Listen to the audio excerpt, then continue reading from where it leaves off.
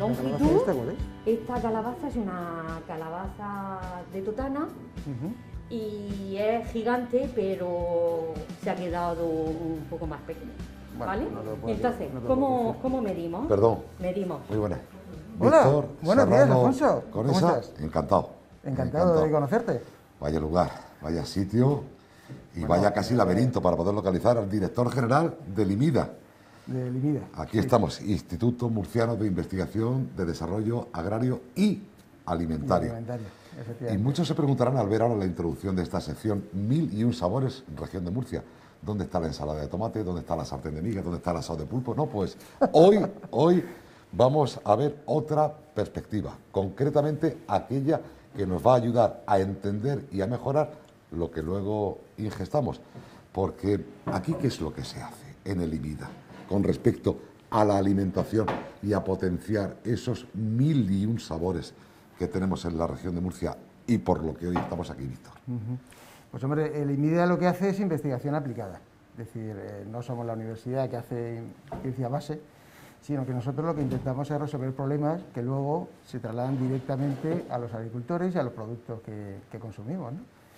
Entonces, en concreto, aquí abajo, lo que tenemos es eh, un banco de semillas, lo que se conoce por un banco de germoplasma, donde recogemos variedades de los diferentes tipos de verduras que hay, de los diferentes tomates. Y, y somos, a mí me gusta decirlo, somos como los custodios de la herencia genética de, de los vegetales de la región, de las especies de la región. Tenemos 3.000 variedades de, de tomate, 3.000 variedades de tomate. 3.000 variedades de tomate y 3.300 de pimiento. Y para eso, que os hagáis una idea de... y eso está al servicio, a la disposición de cualquier interesado. Efectivamente. Sí. Efectivamente. A ver, nosotros no vendemos semillas, evidentemente, que para eso hay empresas que las venden, pero sí somos responsables de custodiarlo. El banco está integrado, de hecho, dentro de una red de bancos que está registrado en la FAO, porque a nivel mundial pues, hay un interés por proteger eh, digamos, la- las especies como están originalmente, sin que, sin que evolucionen, y además sanitariamente sanas. que- Ajá. que- sin que Y se puede, se puede avanzar en la ciencia, se puede avanzar en la tecnología sin perder un ápice de esa autenticidad, de ese sabor que desprendían los tomates del abuelo.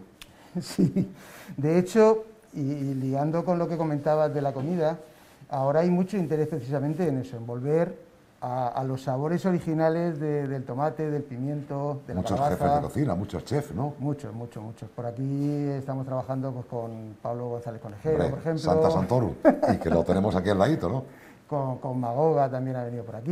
Es, quiero decir, Pata negra. Pata negra. Hay, hay mucho interés, hay mucho interés en, en recuperar los sabores tradicionales. Lo que, lo que Pablo me gusta que lo que comenta de, de sabores con sabores románticos, ¿no? De, de- a lo mejor no es el mejor tomate del mundo, pero sí es el tomate que me hacía mi abuela con el tomate que cogía de la huerta y lo, y lo freía. Bueno, me decías eh, zona casi casi bunkerizada, ¿no? Acorazada.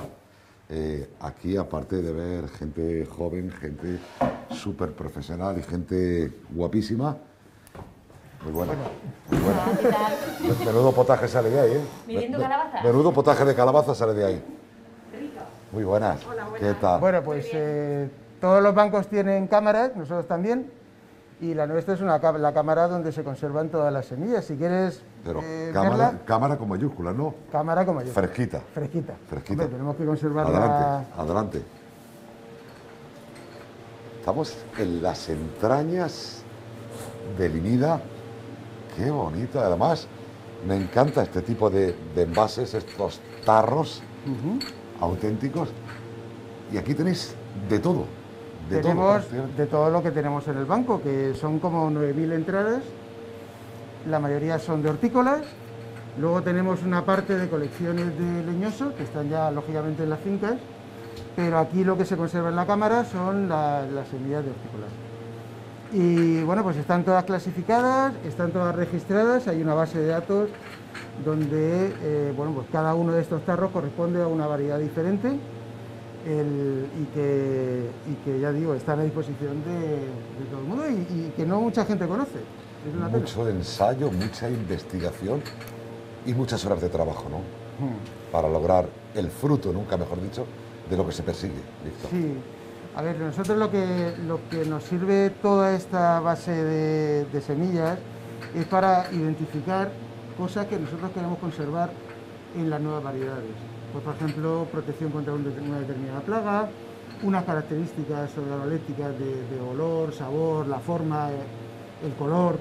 Y, eso es lo que nosotros vamos reutilizando de unas variedades a otras para conseguir pues, eliminar una plaga, por ejemplo, sin tener que utilizar fitosanitarios. Y Que hace fresquito aquí, ¿eh? Sí.